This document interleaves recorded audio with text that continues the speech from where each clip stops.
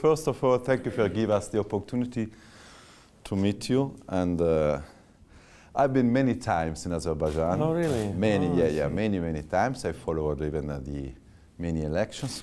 And when was the last time? The last time was a, a year and a half ago, but I came in more than 10 times. And uh, it's a very interesting country, Thank you. and I have to admit that you made some uh, very good uh, progresses from some point of view. uh, From, and um, I am uh, a Middle East correspondent in Asia from Il Sole 24 Ore, that is the biggest uh, uh, financial political newspaper in Yes, Italy. I know it's, that. it's well known. So if you don't mind, during the interview, I will shift also on the relations between the strong relation between Italy and uh, your Yes, country Yes, with pleasure. and about the process of diversification of the economy. That is a very inter- interesting subject that is not reported enough or as it deserves by the international media. I agree with you. Yes, with pleasure. I will comment on that. I would start. Yes, And please go my ahead. first question uh, is regarding the Nagorno-Karabakh issues. Mm-hmm. Yesterday you had a very interesting meeting.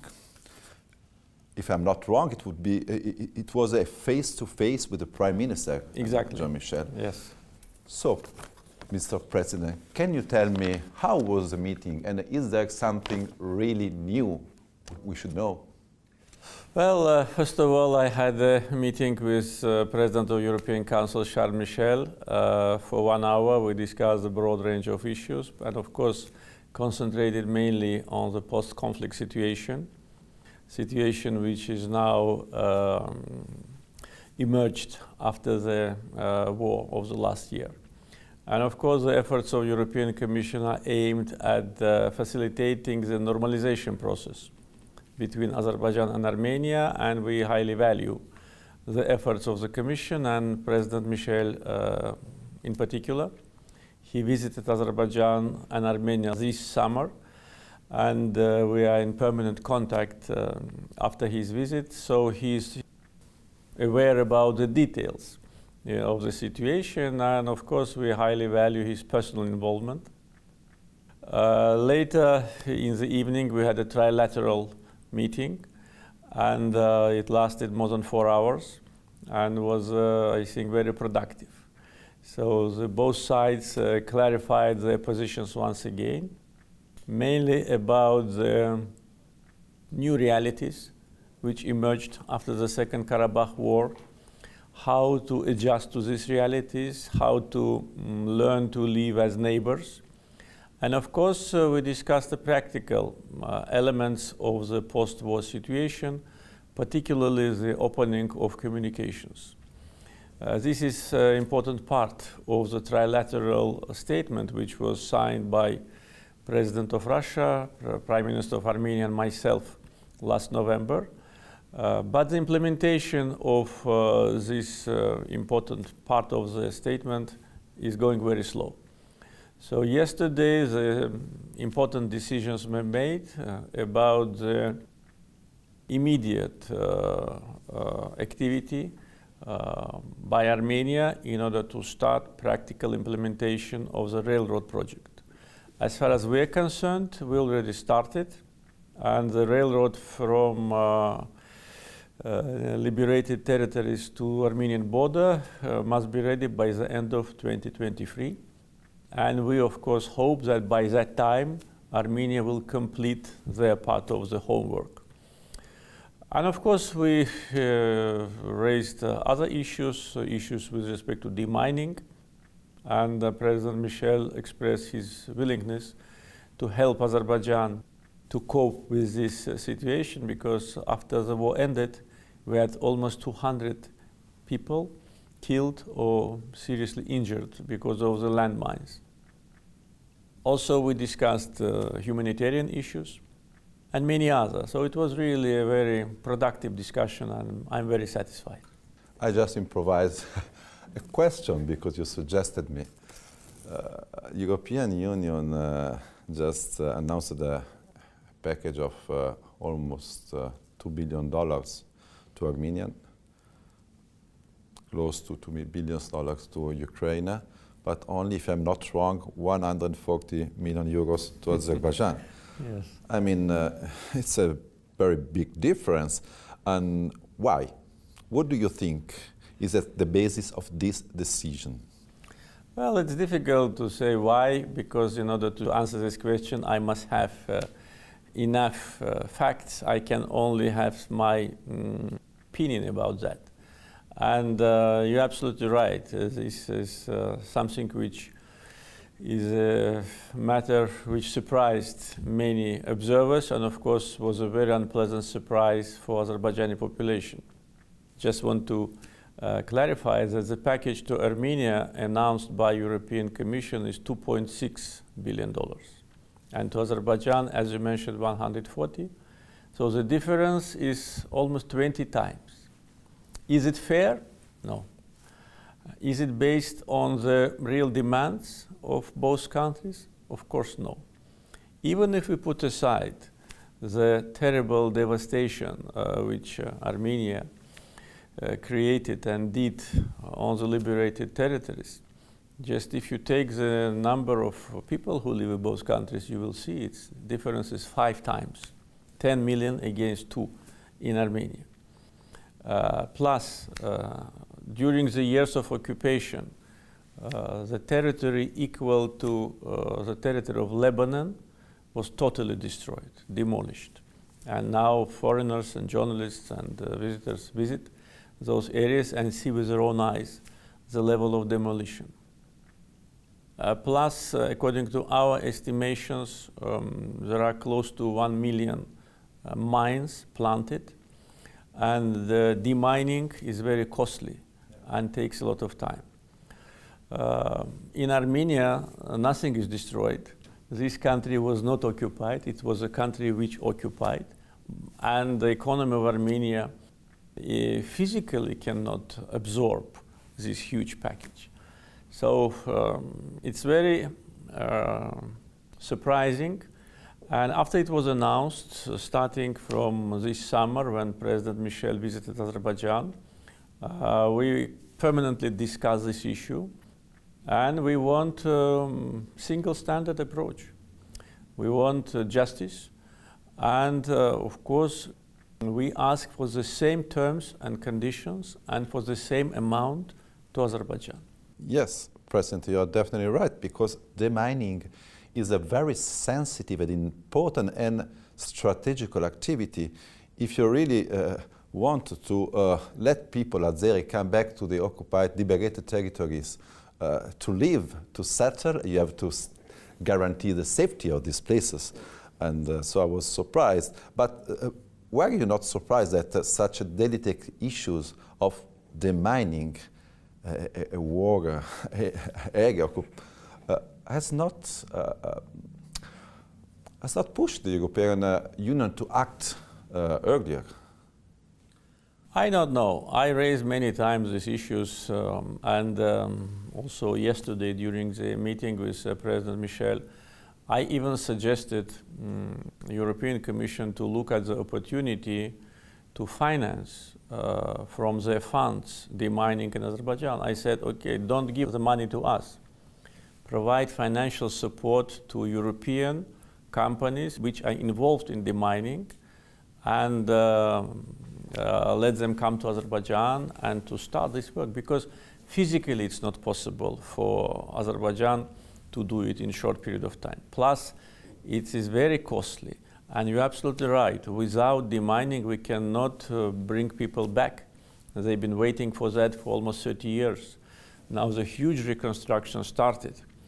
But uh, the areas which are being uh, under reconstruction are demined, but the rest part is not. So people who will go back, they will face uh, serious problems and threat to their lives. So I hope that uh, after these communications, there'll be more clarity about that. But of course, our needs are not limited only by demining. Everything is destroyed. There is no cities, no villages, nothing. It's destroyed territory. And our position is that uh, the level of support, whether it's uh, financial donations or uh, loans to Armenia and to Azerbaijan must be at the same, same level. But don't you think that uh, this is my suggestion that the European Union is more prudent because of the some reports, according to some reports, there are still some problems of uh, uh, human rights or problem of press freedom in Azerbaijan. Azerbaijan has improved by far since it started. Everybody knows that this process takes time, but maybe this cannot be something that is slowing this. Uh, no, I don't activity. think so. First of all, because now there are more understanding in European institutions that this uh, uh, perception about uh, problems with human rights and media freedom are exaggerated. Because in Azerbaijan, there is no restrictions on media. We have free internet, no censorship, and we have now more than 80% of Azerbaijani population are internet users. And you cannot uh, restrict media and have free, uh, free internet. The same with uh, human rights issues. All the human rights are protected and uh, Azerbaijan is not facing the criticism it faced many years ago because first we managed to persuade our European partners that uh, the information mainly was based on wrong uh, scenario. And second, we implemented a large scale of political and economic reforms. And second, if you look to the substance, you will see that in Armenia, the human rights and political uh, freedoms are brutally violated. Just as an example, many representatives of political parties are in prison. There are criminal cases against leaders of main uh, political parties. There is a huge uh, public discontent with respect to repressions in Armenia. And these are all facts which are absolutely clear. But um, Armenia has a kind of a permanent uh, umbrella. No matter what happens there, it is considered to be a democracy. So it's a kind of a double standards again. Suggested, sorry, another question because I can be very direct. But yes, yes, sure. In a, in a few months, you have uh, retaken uh, the districts, uh, the district that have been uh, taken by uh, Armenian forces during the First War. And uh, in 15 years, almost 15 years of negotiations, you didn't receive that result. So my question is, the Minsk group seemed before to be oriented, not officially, uh, toward a status quo, just to keep uh, an armed peace. that is, and this is useful maybe even for Russia that can, can play a role until things uh, are in this way. So what is your opinion about the role of Minsk Group? Because you yourself, but other um, uh, the authorities have been rather skeptical, if not disappointed, mm, toward yes. this group.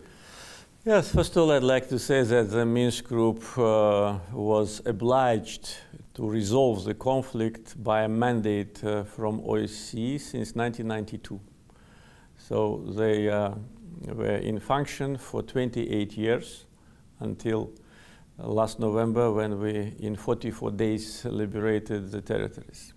My opinion about the Minsk group uh, activity does not differ from the opinion of the Azerbaijani people it's, uh, it's a failure.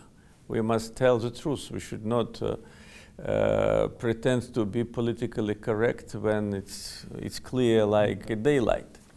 If the Minsk Group co-chairs, which are the leading countries of the world, three out of five permanent members of Security Council, three nuclear powers, the most powerful countries of the world, could not or did not want to uh, put an end to Armenian occupation. That means that the activity was failure. They worked for 28 years. Can you imagine? I was just sorry for interrupting you. Just start from the Madrid Principles, but okay, yes, it's, yes. it's a longer, longer time yeah, for the mix. Yeah, Madrid Principles was more than 10 years ago, but they started in '92, yeah. and the uh, three leading uh, countries which I mentioned uh, became the co-chairs several years later. But anyway, it's more than 20 years, but without zero result. And why? Probably because, as you said, the status quo was acceptable to them. Though I can tell you that at certain stages, uh, even on the level of the heads of states, of the co-chairs of the Minsk group, there have been positive statements that status quo is unacceptable and must be changed. And we were very encouraged by that. But unfortunately, there were no actions. And it was very simple. And uh, I uh, raised this issue many times. To persuade Armenia or to force Armenia to leave the territories of Azerbaijan and to comply with United Nations Security Council resolutions demanding that, the only way to do it was to impose sanctions on Armenia. Uh, we know that in certain cases these sanctions are being imposed on other countries, but not on Armenia. Again, double standards. Again, um, unjust approach. And Azerbaijani people were uh, tired of these uh, permanent visits of this Minsk group troika. Several times a year they were coming and going without any result. And actually, uh, their activity was um, totally paralyzed after 2019 when Armenian Prime Minister declared that Karabakh is Armenia. And that meant that it's end of negotiations. Because if Armenia says that Karabakh is Armenia, what to negotiate about? Another thing is that uh, later Armenian leadership said that Karabakh is independent country, which was contradictory to the previous statement. But Minsk group did not react they did not even uh, condemn this statement. And of course, this kind of um, behavior only encouraged Armenia to strengthen their uh, position on the table and to make occupation endless. That was a target of Armenia, and unfortunately, Minsk Group helped them in that. Thank you, President. Let's shift uh, mm, to the region especially mm, the problem with between uh, Europe uh, and Russia. It's not your your business, but Azerbaijan could help Europe because. Uh, uh, I mean, uh, European Union fears that a possible invasion, Russian invasion of Ukraine, could create tensions so high that some project would be delayed or even that Russia could use uh, weapon, uh, uh the gas, sorry, the natural gas as a weapon. I mean, uh, European Union is desperately uh, looking to diversify its supplying routes. And as a matter of fact, the South Corridor appears to be one of the most interesting channels in the futures. You have a lot of gas, with your uh, interesting program to, to implement the green energies, you will have even more gas to export. You have a line, you can even double the line, and, uh, which finish with the TAP, but you can also from Greece go to the Balkans.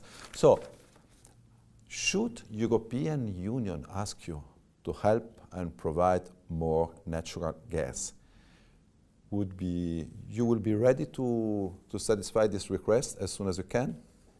Well, of course, uh, our uh, gas uh, strategy was uh, very clear and open, and for many years we did a lot uh, in Azerbaijan and working with the partners in order to build this important project, which is um, considered to be one of the biggest infrastructure projects in 21st century. The Southern Gas Corridor 3,500 kilometers from Baku to Italy, going the Adriatic Sea, uh, going through the high mountains. It's a very complicated project from technical point of view, and of course very costly. And Azerbaijan, uh, I would say, took uh, the main financial burden in all the four segments of the uh, Southern Gas Corridor. And uh, prior to the completion, the full completion of the project, last uh, December, we already signed contracts with consumers. And our gas was contracted. And during this uh, so-called gas crisis with the price, problem with the price, our consumers did not uh, feel any changes. Uh, if uh, we talk about our future plans, of course, there is a possibility to increase the output and to increase the exports, but that will depend, of course, on the demand from European consumers. European Commission uh, was uh, assisting us in that process. We regularly convene in Baku the advisory council of the Southern Gas Corridor, which is chaired by uh, representatives of European Union and Azerbaijan. And the next session will take place next February, where we address all the issues and plan our future steps. It's a big group of uh, companies, banks, and countries. Now the team is growing because uh, we became already suppliers to Europe. Uh, starting from 1st uh, January, we supplied 7.2 billion cubic meters of gas to Italy, Greece, and Bulgaria. Next year it will be 9. 2023 it will be at least 11. So it's serious increase. But in order to increase uh, the production, we need, of course, to invest. And in order to do that, we need to have contracts with consumers. So the contracts first, investment second, and gas third. This is the stages of the process. But we are ready, as you said, we have huge deposits, brand new modern infrastructure with potential uh, interconnectors to other destinations in Europe. You mentioned Balkans and also I would add Central Europe. And uh, that will be diversification of supplies for us and diversification for consumers. Yes, and uh, let's suppose that everything is going in the right direction and you will uh, increase by far the production and the export toward Europe.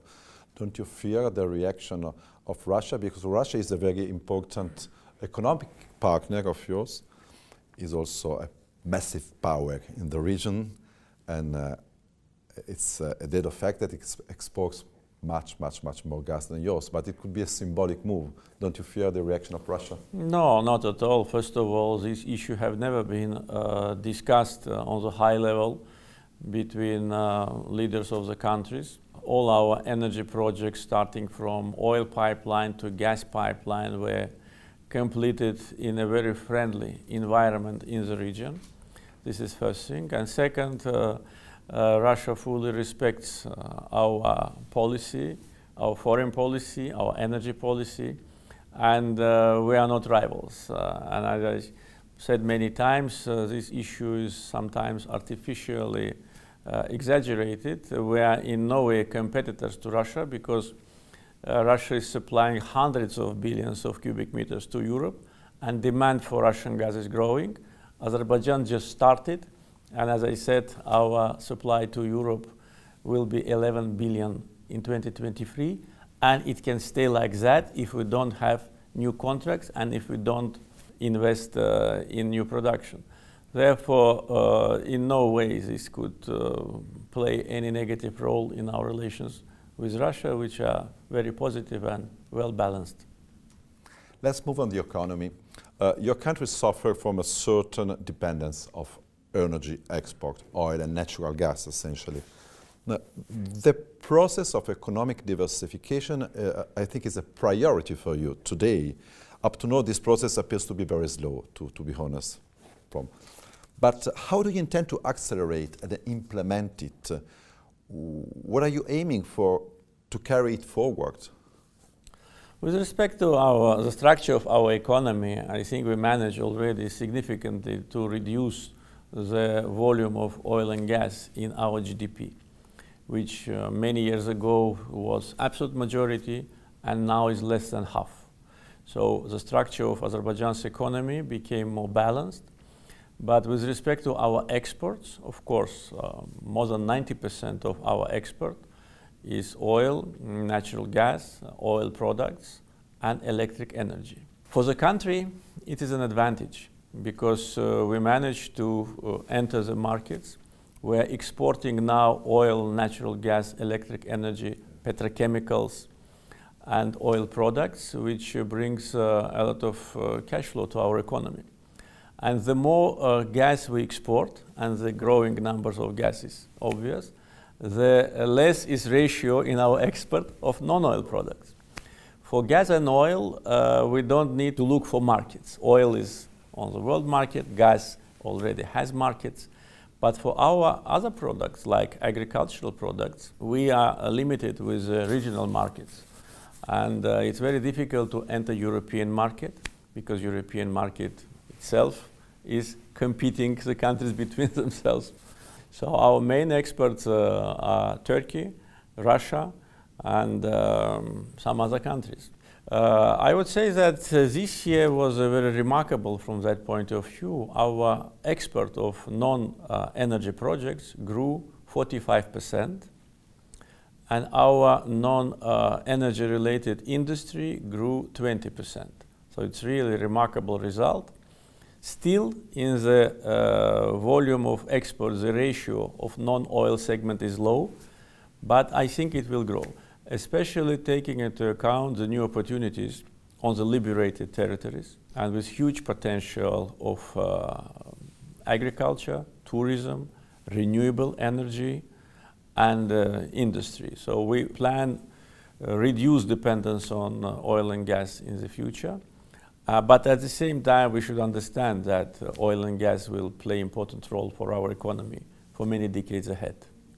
Yes, but um, um, let's move to Italy because uh, uh, Italy is very interested in Azerbaijan. Italy was uh, Azerbaijan's first trading partner. Uh, Rome and Baku have in a very good, uh, uh, got very good relations. in addition to natural gas, Azerbaijan is also um, a leading supplier, as I told you, of, of oil.